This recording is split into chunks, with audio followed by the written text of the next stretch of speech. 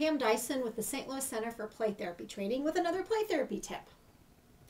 Children that I work with will often share with me a story of something that happened at school or at home that maybe made them afraid or maybe that they were angry about. And I like to gauge the intensity of that emotion that they felt. So I will often ask them on a scale of 1 to 10, how intense was it?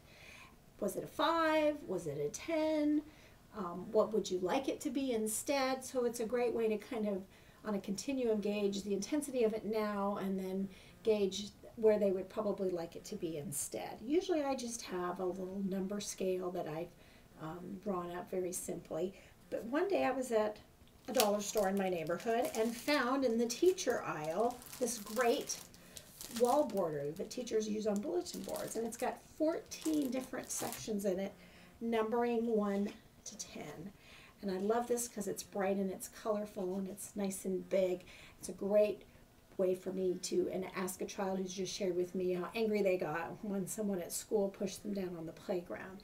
They can show me on this number scale how angry they really felt.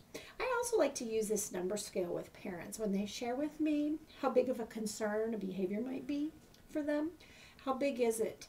And also, where would you like it to be that you feel like it would be a bit more manageable? So, see if you can find something that's a number scale. You can easily draw one, or maybe you can find something that's already printed and incorporate it when you help children um, explain the intensity of their emotions.